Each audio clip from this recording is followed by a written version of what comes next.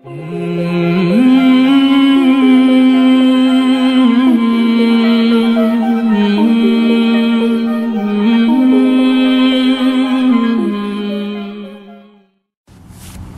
علیکم ورحمۃ اللہ وبرکاتہ۔ ذہن میں ایک سوال اترتا ہے جب یہ کہتے ہیں کہ سناتن دھرم ہی اصل میں دھرم ہے اور ہمیشہ سے یہی رہا ہے، تو اگر سناتن دھرم اتنا ہی اچھا دھرم اور اتنا ہی پرفیکٹ تھا تو کیا وجہ تھی کہ جین مت اور بدھ مت جیسی چیزیں اس معاشرے میں پیدا ہوئیں اور اس کی اس قدر فالوئنگ ہی یہ بڑا اہم سوال ہے، اگر سوچا جائے۔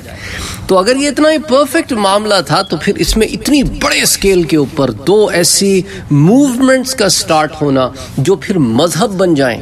کیونکہ اوریجنلی یہ مذہب بن کے نہیں سٹارٹ ہوئی۔ لیکن جی ہندو مت نے ہندی معاشرے کو چار طبقات میں تقسیم کر دیا تھا۔ جیسا کہ ہم جانتے ہیں کاسٹ سسٹم جو ہے، اور ان کے درمیان امتیازات ایک پہاڑ کی طرح تھے کہ ایک طبقے سے دوسرے طبقے میں جانا ممکن ہی نہیں تھا۔ بعض طبقات عزت و احترام کے انتہائی بلند مراتب پر فائز ہونے کے ساتھ ساتھ پھر مالی اور مادی مراعات سے بھی سرفراز تھے۔ اور بعض طبقات ذلت و رسوائی کی گہرائیوں میں پھینکے جانے کے ساتھ ساتھ ہر قسم کی محرومیوں سے بھی دو چار تھے۔ محروم طبقات طبقوں کے افراد کی تعداد، مراعات، یافتہ طبقات کی تعداد سے بہت زیادہ تھی۔ یہ لوگ صدیوں اور صدیوں سے اسی حالت میں صبر کے ساتھ زندگی گزار رہے تھے۔ آخر کب تک؟ انسانی معاشرے کی یہ تقسیم کسی انسان نے نہیں کی، بلکہ یہ یہ کہہ کر ان کو دلاسا دلاتے رہے کہ یہ دیوتاؤں کی تقسیم ہے۔ اور دیوتاؤں کے اوپر اگر تمہیں یقین ہے، وشواس ہے، تو تمہیں ان کے سامنے اپنے سر کو جھکانا۔ لیکن جب تزلیل اور رسوائی کی حد ہو گئی تو ان کے صبر کا پیمانہ چھلک پڑا۔ انہوں نے غیر فطری انسانیت سوچ طرز معاشرت کے خلاف علم بغاوت بلند کر دیا اور اس کے علاوہ ہندو مت کی پوجا پاٹ کی رسمیں اس قدر سخت اور کرخ تھیں کہ ان کے ساتھ ہمیشہ کے لیے نباہ ممکن نہ تھا۔ انصاف کے نام پر جو انصافیاں بے انصافیاں ہو رہی تھیں، عدل کی قربان گاہ پر انسان کے جس طرح طبقات میں بانٹ کر قربان کیا جا رہا تھا، اسے دیکھ کر کسی کے اندر اگر بدھی ہونا عقل ہو، وہ تو سوچنے پر مجبور ہو جاتا ہے کہ کس قدر بے انصافی اور ظلم سے بھرا ہوا یہ معاشرہ ہے جو برہمن پروری کر رہا ہے اور ساتھ ہی ساتھ شدر کشی کر رہا ہے اور نام دیا جا رہا ہے کہ یہ دیوتاؤں کے نام پر ہو رہا ہے۔ تو ایسے معاشرے میں کوئی نہ کوئی ایسی موومنٹ سٹارٹ ہوتی ہی ہے، جہاں پر جن پر ظلم کیا جا رہا ہے، ان کی تعداد بہت زیادہ ہو، ان سے جو ظلم کر رہے ہیں۔ برمنوں اور کھچتریوں کی گھٹ جوڑ سے یہ گاڑی صدیوں تک رینگتی رہی۔ برمن نے کھچتریوں کو تاج و تخت کا مالک تسلیم کر لیا۔ اور برمنوں کے اثر و رسوخ کی وجہ سے ہندی ذہن جو ہے، یہ سوچ بھی نہیں سکتے تھے کہ کھچتریوں کے علاوہ کوئی اور آدمی سربراہ بن سکتا ہے۔ خواہ و علم و فضل میں، عقل و دانش میں، سیرت کی پختگی میں، اخلاق کی بلندی میں اعلیٰ مراتب پر فائز ہو، پر اس کے باوجود سوال ہی پیدا نہیں ہوتا۔ جب برہمن طبقے نے کھچتریوں کو کاروبار حکومت کا بلا شرکت غیر مالک بنا دیا، تو انہوں نے اس کے عوض برہمنوں کی مذہبی اجارہ داری کو برقرار رکھنے کا ذمہ لے لیا۔ کیونکہ ان کی اپنی بہتری اور بھلائی اسی میں تھی کہ برہمن جو ہے وہ مذہبی فرنٹ سنبھالے رکھیں اور یہ سیاسی فرنٹ سنبھالے رکھیں۔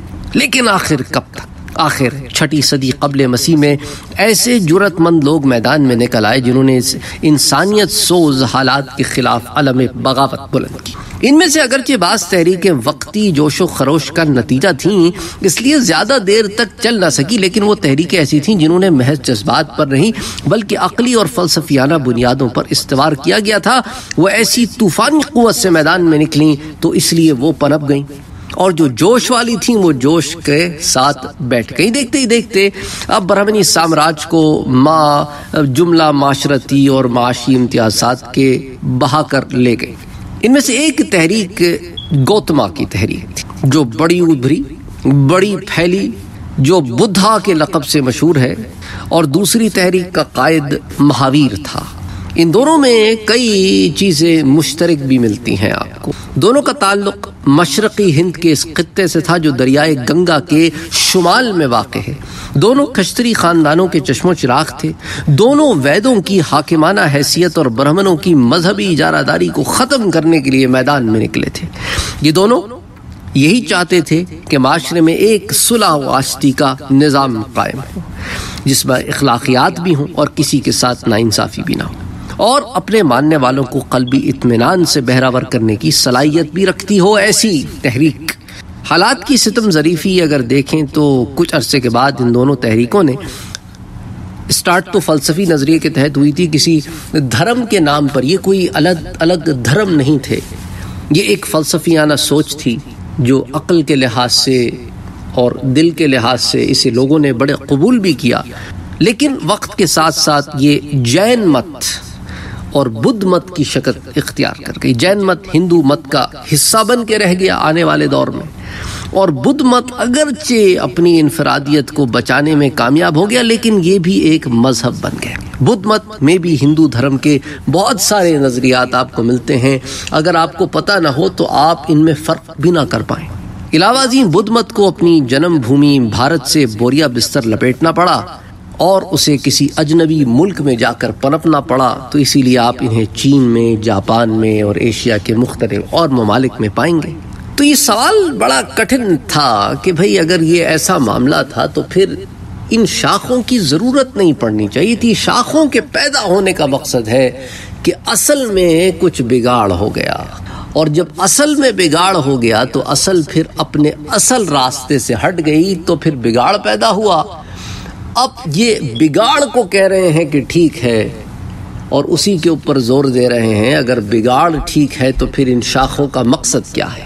آہستہ آہستہ آپ دیکھیں گے کہ آج یہ مسلمانوں کے اوپر آ رہے ہیں، کل ان شاخوں کے اوپر بھی آئیں گے۔ دیکھیں جی جین مت کا اولین پرچار کرنے والا مہاویر تھا۔ اس نے یہ نظریہ پیش کیا کہ انسان، حیوان، درخت، پتھر، ہر چیز میں روح ہے۔ اور روح جب بدن کے قفص میں مقید کر دی جاتی ہے، پنجرے میں بند کر دی جاتی ہے۔ تو اس کی نجات کی ایک ہی صورت ہے کہ وہ اس تالے کو توڑ کر اس سے آزاد ہو جائے۔ اس کے نزدیک دعائیں اور پوجا پاٹ محض بیکار ہیں۔ اس نے اخلاقی اور ذہنی نظم و ضبط کی اہمیت پر بڑا زور دیا۔ بدن کے سارے تقاضوں کو نظر انداز کرنے میں نجات کا راز بتایا۔ جین مت کے مذہبی پیشوا ترک ذات، بلکہ فنائے ذات پر اتنا زور دیتے کہ کھانے پینے سے بھی دستکش ہو جاتے۔ یہاں تک کہ وہ بھوک اور پیاس کی شدت سے دم توڑ دیتے۔ ایسی موت کو بڑی شاندار موت کہا جاتا۔ اور ان کا دوسرا اصول تھا اہنسا، عدم تشدد۔ وہ کسی انسان یا حیوان کی جان لینا، تو ایک طرف کیڑے مکوڑوں، جڑی بوٹیوں کو بھی تلف کرنا، نقصان پہنچانا، گناہ کبیرہ سمجھتے۔ ان کے ہاں کھیتی باڑی بھی ممنوع تھی، کیونکہ اس سے بھی کیڑے، مکوڑے اور جڑی بوٹیاں اور مختلف چیزوں کو نقصان پہنچتا ہے۔ ان کا پسندیدہ پیشہ صرف تجارت تھا۔ آہستہ آہستہ جین مت ہندو دھرم کے نظریات سے متاثر ہونے لگا۔ مذہبی لوگوں کی طرح انہوں نے بھی کئی دیوتاؤں کی حمد اور گیتیں اور یہ سب شروع کر دیے گانے گانے۔ اور خود مہاویر کو بھی ایک دیوتا سمجھ لیا گیا۔ اور اس کی پوجا پاٹ بھی شروع ہو گئی۔ وہی جو ہندوانہ پن۔ یہ لوگ ضرورت مند طبقے کو بھاری شرح سود پر قرض دیا کرتے تھے۔ اس وجہ سے جین مت کے پیروکاروں کا ایک طبقہ دولت مند طبقہ بن گیا۔ اب ان کی تعداد دس لاکھ کے لگ بھگ ہے۔ ان میں افراد و تفریت کا آپ اندازہ لگائیں تو ادھر تو اتنی نرمی ہے، اتنی نرمی ہے کہ زمین کے اوپر پاؤں بھی ایسے رکھو کہ کسی کو تکلیف نہ پہنچے۔ اور ظلم کی دوسری طرف انتہا یہ ہے کہ غریب اور ضرورت مند سے بھاری شرح پر سود لے کر ان کا خون چوستے۔ اتنی زیادہ ایکسٹریمزم ہے۔ تو وہاں پر بھی آپ کو اعتدال نہیں ملتا۔